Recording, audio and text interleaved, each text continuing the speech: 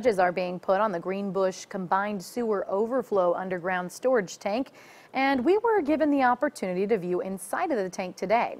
The 4.2 million gallon tank is roughly the size of an NFL football field and will be used to capture untreated sewage during heavy rain events. Construction on the tank began in October 2017, and today was the last day visitors will be allowed to enter the tank before the tank is closed off and put into use.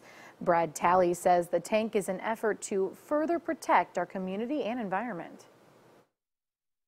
We want the people to be able to enjoy the river. We want to protect the environment, um, just be a good environmental stewards uh, for the community. Well, Talley says the city of Lafayette plans to continue all operations and projects with a focus on environmental responsibility and natural resource protection.